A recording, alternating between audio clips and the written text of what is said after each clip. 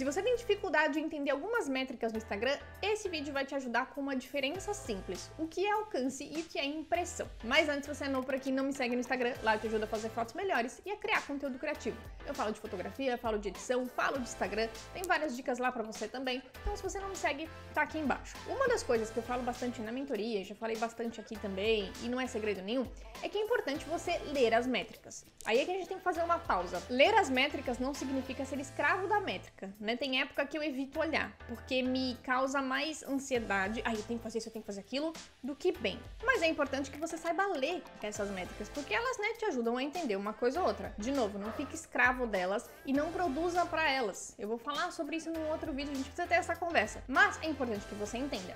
E uma das dúvidas que as pessoas mais têm, que vem para mim na mentoria, no Instagram, etc, etc, é a diferença entre alcance e impressão.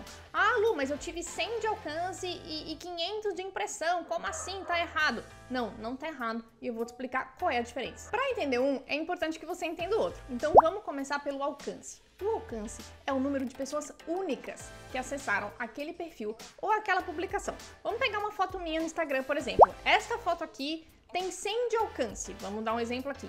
Isso significa que 100 pessoas diferentes viram aquela minha publicação.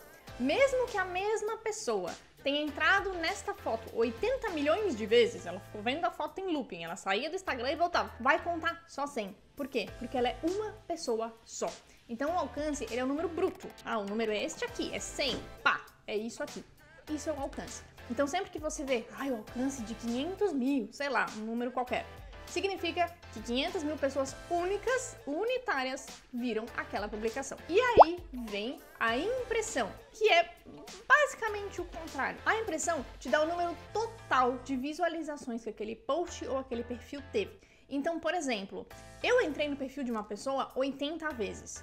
No alcance, vai contar um só, porque eu sou uma pessoa. Na impressão, vai contar todas as 80 vezes que eu estive lá, né? Porque a impressão Quantas vezes aquilo foi visto? Não importa que foi pela mesma pessoa. Então, nossa, na meu alcance tem 100 e meu, na minha impressão tem 500. Porque foram 100 pessoas diferentes que viram aquilo 500 vezes, né? Vamos fazer uma matemática simples aqui. É como se cada pessoa tivesse visto 5 vezes, tá? Então, essa é a diferença.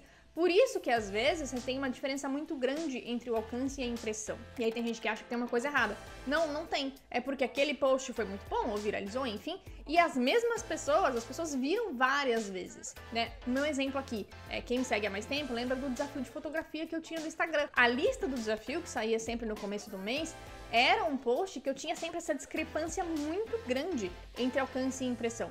Por quê? Ah, 100 mil pessoas viram o post. Legal, né? Sempre é um post com muita visualização e tal.